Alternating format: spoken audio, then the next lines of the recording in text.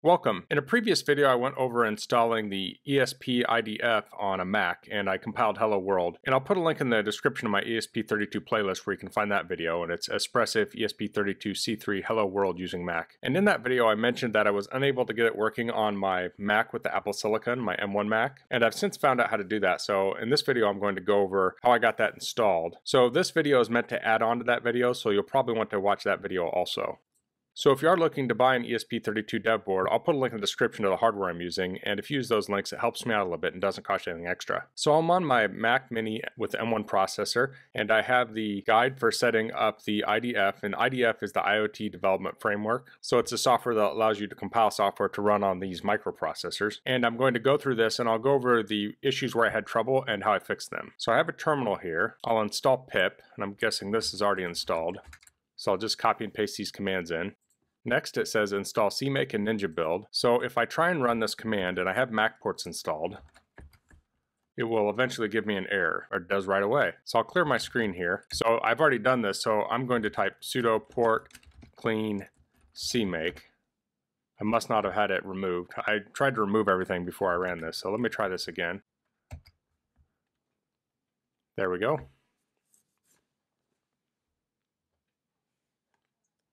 So it's asking us if we want to install the dependencies. I'll say yes. It found some broken ports, and I don't know if these will all show up on your instance. I tried to remove the software that I had installed previously before I made this video, but I may not have done a perfect job of that. But you can hit yes as needed to make everything go forth.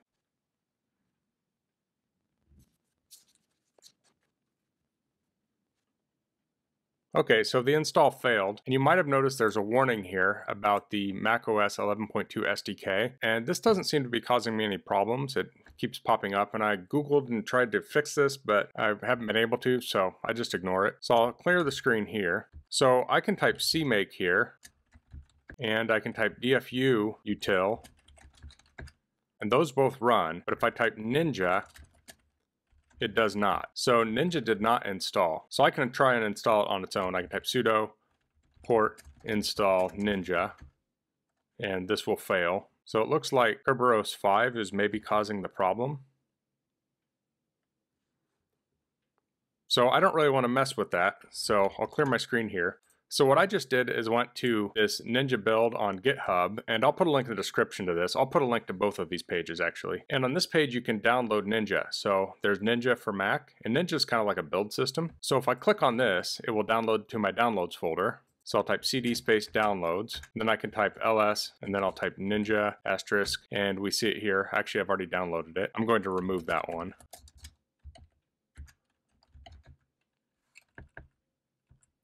There we go. So I'll unzip this with unzip and it creates this ninja binary and I need to put this somewhere so I'm just going to put it where MacPorts would have put it. So I'll type sudo space cp space ninja space forward slash opt forward slash local forward slash bin forward slash I'll hit enter here and this will copy ninja into that directory. So now I can type ninja and then help and it says it cannot be opened because Apple cannot check for malicious software. So what I'll type here is I'll type open space forward slash opt forward slash local forward slash bin and I'll look for Ninja on this page and I'll right click on it and say open. And now it's asking if I want to open it. I'll say open. And I think I should be able to run this now. There we go. So we've authorized it. So now we've installed all of these prerequisites. I ran this whole command, but I didn't need to run Ninja because it didn't work anyway. But we used Mac ports to install CMake and DFUUtil, and then we installed Ninja manually from the GitHub repository. So now I can scroll down. I know I have the correct Python version, I'll skip that. So now it says next steps, and it says step two, get ESP IDF. So I'll click on that, and I'm in my home directory. So I'll run these commands.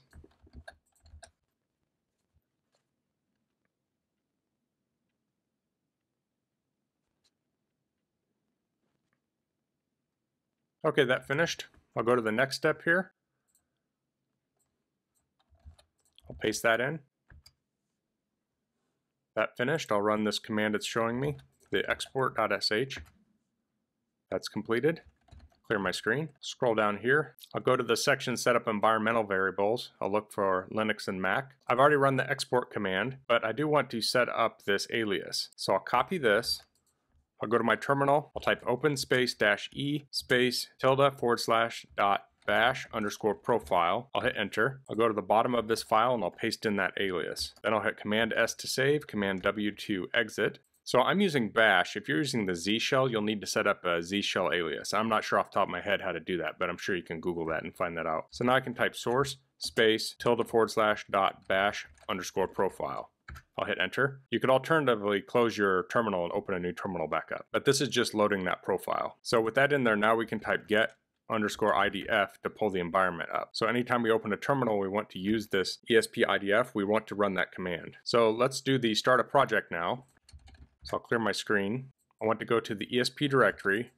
So we're just actually moving down a directory. And then I will copy the Hello World project to the current directory.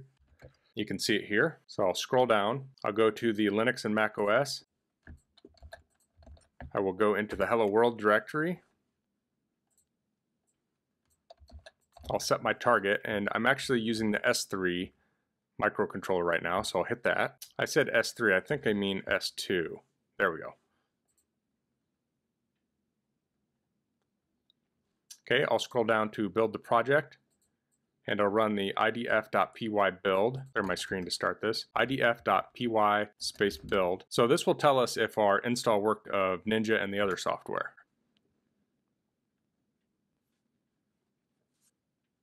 Okay, that completed, so that looks good. Clear my screen here. I'll type ls space dash l forward slash dev forward slash cu asterisk, and we can see our serial device here, so I'll copy that. I'll type idf.py space dash p space, and then I'll paste in the port, and then I'll type flash. So this will send it over to the microcontroller. So next we'll run the same command with monitor.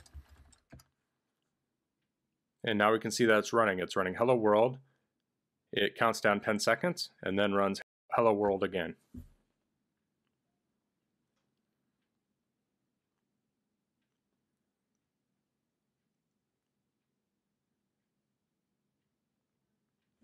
So to summarize this, we have the instructions on the ESP32 or the Espressif website, and you essentially want to go through these same instructions, except for when you get to the area where you install the software, uh, well, it's the Mac page. So you go through the instructions, you install the prerequisites, and instead of installing Ninja on here, you want to download it from the Ninja build on GitHub and install that manually.